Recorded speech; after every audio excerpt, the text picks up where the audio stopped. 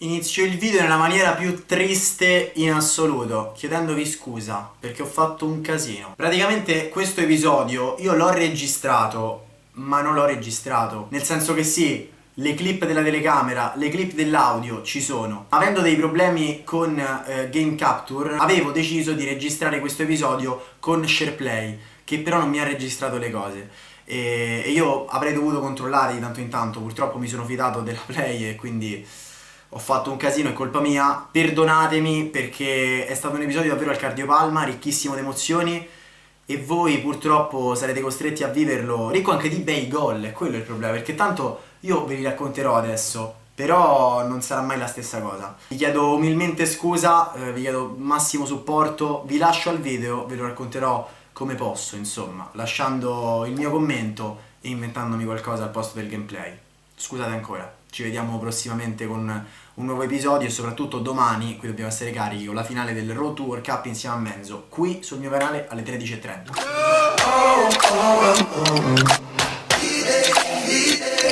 Ciao belli! Allora, vi è piaciuta moltissimo l'idea di chiamarvi all'inizio dell'episodio.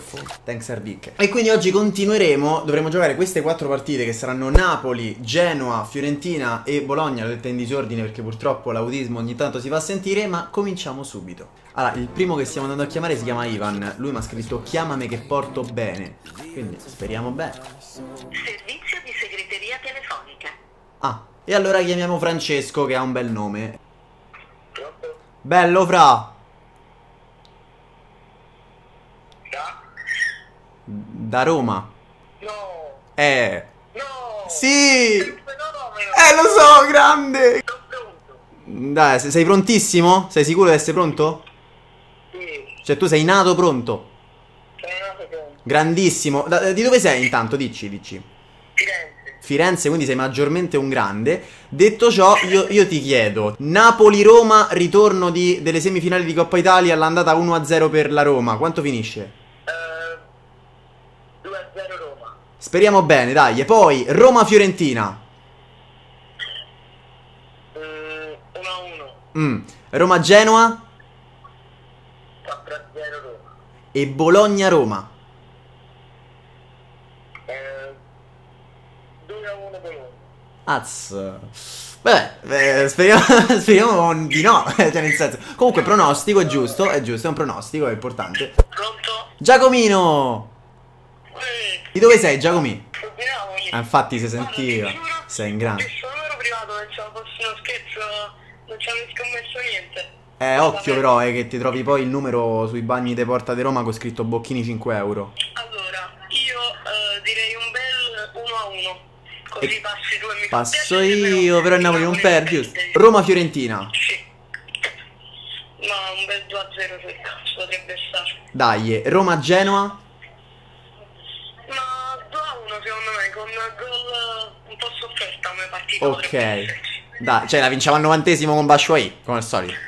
Magari sì, Eh, come oh. del resto pure nella serie con Menzo. Esattamente, esattamente grande. E, e poi Bologna-Roma. Ah, boh, Bologna-Roma scialla, diciamo 3 a 0. Buono. Adesso, anche perché comunque io voglio mantenere questa tradizione, no?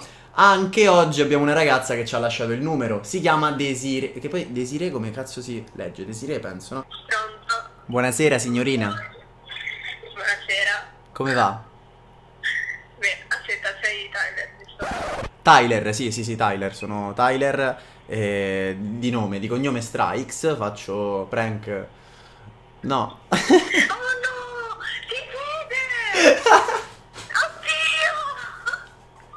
Sono vede, sono credo di esserlo almeno. Invece la voce è un po' diversa, un po' Anche la- l'accento forse, no? Esatto. Ecco, soprattutto. Grande. Allora, senti una cosa. mm, Facciamo così. Tu, tu te ne intendi di calcio? No. Fantastico. Se- Però almeno tu lo ammetti. Perché l'ultima volta, l'ultima volta aveva detto sì, sì, io capisco di calcio. Poi ha fatto dei pronostici abbastanza... eh, allora, ma se io ti chiedo quanto finisce Napoli-Roma? No. Guarda, ti prenderei in giro, non me ne intendo proprio, non ne capisco nulla. Ah, quindi mi fa piacere che tu abbia capito comunque lo scopo di lasciarmi il numero e poi farti chiamare negli episodi. di- Vabbè, sono i rischi del mestiere. Dopotutto, direi che comunque i due pronostici ce li abbiamo e quindi partiamo con l'episodio.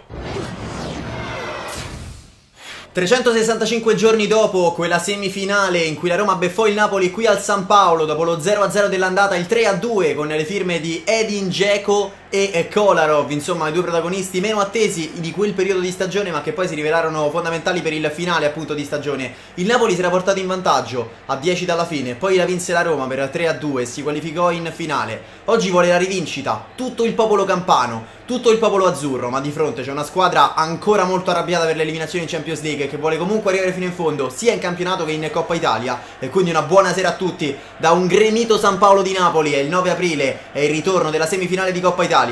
Roma padrona del match, Mares in verticale per Mertens che riesce ad andare via con una magia su Alviola Attenzione a Mertens che è fuggito. Poi mette il cross per Mares che si tuffa. Ancora Mertens dentro Pellegrini! La gira in porta. Magia Al ventunesimo. Lorenzo Pellegrini È avanti la Roma al San Paolo. Voleva giocarla questa partita il centrocampista ex Sassuolo Lo ha chiesto in settimana a Marconi È entrato al posto di De Rossi dal primo minuto E ha fatto un gol mica brutto Palla in porta Roma avanti la sterzata, il tocco ancora su Pellegrini che poi allarga in direzione Abdullah Nura. Da lì pronto al cross, morbido verso Schick, la torre, ancora Mertens, due volte Mertens! Che esulta il giusto, ma fa 2-0 per la Roma. Il gol dell'ex Dries Mertens, raddoppio alla mezz'ora. In realtà il pugnetto c'è per Mertens che però giustamente si contiene. Napoli 0 e Roma 2, lo ha voluto. Destro di controbalzo, palo gol. E Roma che mette a questo punto della partita, dopo mezz'ora in cui praticamente ha giocato a un senso unico, insomma si è giocati a una sola porta, un piede e mezzo in finale di Coppa Italia, un as. Barreca gli porta via il pallone con sicurezza e poi vuole anche farsi servire dal Sharawi. Ecco il tocco di ritorno per l'ex Torino. Corre Antonio Barreca sulla corsia di sinistra. Può metterla al centro. Fa tutto da solo. Poi cerca la porta! Eccolo qui il punto esclamativo. Il gol di Barreca. Il 3-0 della Roma. 4 complessivi al 91esimo. Ci mette la firma che esclama a questo punto la Roma in finale di Coppa Italia contro una tra Juventus e Inter anche questo un gol non semplice dalla linea di fondo, ma un gol che assomiglia, oltre a quello di Hazard, eh, con le dovute proporzioni eh, nelle Road to World Cup, sia a mezzo che vi lascia nelle schede, a quello che nel primo tempo ha fatto Pellegrini. Due gol subiti da Reina sul suo palo, sicuramente una netta complicità per il portiere del Napoli, che sicuramente non è stato al 100%, così come il Napoli, partita senza storia per la verità. Tre fischi, la Roma è in finale di Coppa Italia, non è servito praticamente il ritorno per confermarlo perché il Napoli non si è mai opposto non tanto penso per volere personale quanto per capacità clamorose in più della Roma che ha battuto il Napoli tra l'altro anche in campionato per 4-0 come detto nel primo tempo. Roma in finale. Adesso vedremo anche chi incontreremo nell'ultimo nell atto di questa competizione che poteva essere un primo o secondo atto verso il triplete che non lo sarà perché come sappiamo siamo usciti purtroppo eh, in malo modo contro un grande Bayern Monaco agli ottavi di Champions League quindi sicuramente non sarà triplete è successo di tutto intanto, è successo di tutto tra Juve e Inter perché la Juve aveva vinto la gara d'andata per 2 a 1, l'Inter ha ribaltato clamorosamente e quindi sarà Roma-Inter la finale di Coppa Italia in maniera clamorosa perché tutti si aspettavano un Roma-Juve, così come fu l'anno scorso, così come è stato in Supercoppa Italiana, così come è anche in campionato perché a 7 giornate dal termine la Roma conduce a 75 punti la classifica ma la Juve è incollata a 74, sarebbe stata un'infinita sfida tra Roma e Juventus. Sarà Roma-Inter la finale di Coppa Italia, stile vecchi tempi come qualche anno fa. Adesso però andiamo avanti e pensiamo a Roma-Fiorentina che vuole partire la Win Kurzawa vuole anche scambiare con Chic che lo fa viaggiare. Attenzione al 33 che prende campo arriva fino in fondo resiste attenzione ancora. Kurzawa mette la palla in porta. La Roma si aggrappa al francese per continuare a vincere verso la quindicesima di fila. 1-0 se la porta avanti con la testa la Win Kurzawa resiste al ritorno di un avversario e poi calcia di collo pieno sotto l'incrocio dei pali opposto. Roma 1, Fiorentina 0 come detto sarebbero 15 di fila perché i giallorossi proprio all'andata con la Fiorentina avevano perso l'ultima partita e poi solo vittorie in campionato. Non calcia, preferisce allargare il gioco su Mugnain. Florenzi lo contiene, poi non riesce a ripartire, insiste la Fiorentina. Mugnain. In fila per Kalinic che ha sterzato bene, dette dentro, palo della Fiorentina! E poi arriva il gol dell'1-1. Ha segnato Tomovic. Ha segnato il capitano Viola.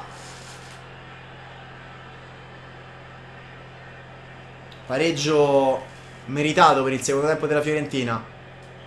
Una Roma che si è adagiata un po' troppo presto.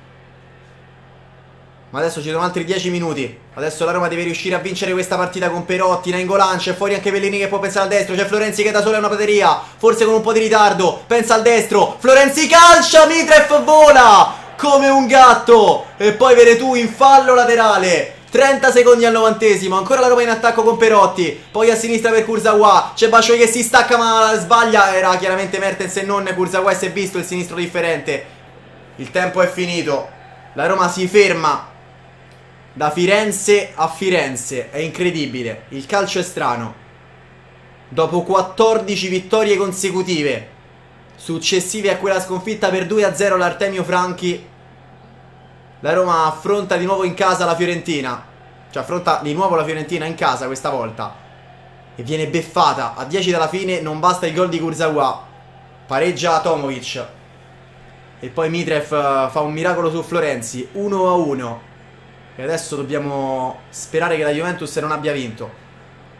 Ma comunque vada, queste ultime 8 partite saranno di fuoco. E invece vince la Juventus, che vola a 77 punti. La Roma ha 6 giornate per eh, ripassare in vetta, momentaneamente a meno 1 dei bianconeri. De Rossi, Roma che continua con l'assedio, Perotti per Bascioi, verticale da Mertens al limite, prova giro! Dries Mertens! La Roma riparte dal belga, 1-0 al quarto d'ora, forza così!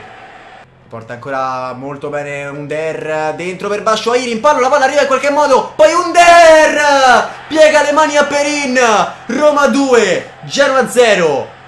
Bascioi sterza bene, salta l'uomo, si è infilato Mertens ignorato, poi Bascioi tentenna un po', va alla fine da Mertens che infila molto bene per Under fino in fondo! 3-0 Roma, Cengiz, Under, firma la doppietta e la Roma praticamente archivia Roma-Genoa nel primo tempo, così come volevamo. Poi allarga sulla destra, Aliresa passa, la mette dentro e il gol del Genoa. Il gol del Genoa ha segnato Centurion. Qualcosa da rivedere qui, 3-1.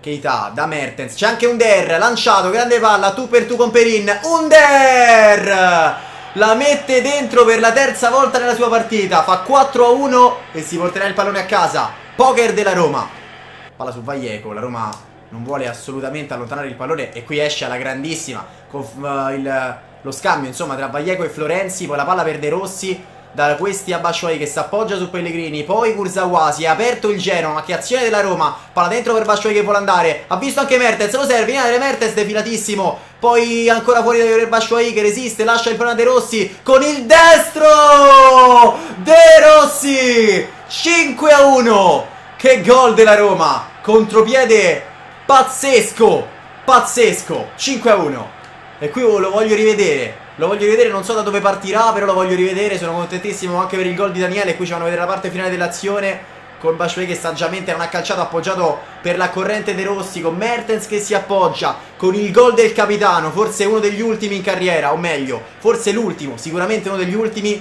Il terzo in campionato Pellegrini, poi Bascioi, lascia anche a Gerson, possibilità per Gerson, che non sbaglia, segna forse il primo gol in campionato, la Roma chiude il primo set, è 6 a 1, è 6 a 1 per una Roma che fino alla fine giustamente ha giocato. Eccolo qui il triplice fischio, la Roma travolge il Genoa 6 a 1 e torna a vincere con un Der che si porta il pallone a casa, con De Rossi che si prende la Roma sulle spalle con Mertens che segna un altro gol stupendo e col primo gol in Serie A di Gerson. Insomma una Roma che torna alla vittoria adesso bisognerà vincere anche le altre 5 con la Juve che ovviamente ha vinto di nuovo quindi non possiamo sbagliare non possiamo sbagliare supportate al massimo questo fine di stagione ragazzi perché sarà veramente tosto. Dentro per destro Taider Infila Naghi, poi destro, può calciare, destro! Con il sinistro. Fa 1-0 per il Bologna. Una Roma bruttina, devo dire, è sotto dall'area contro il Bologna.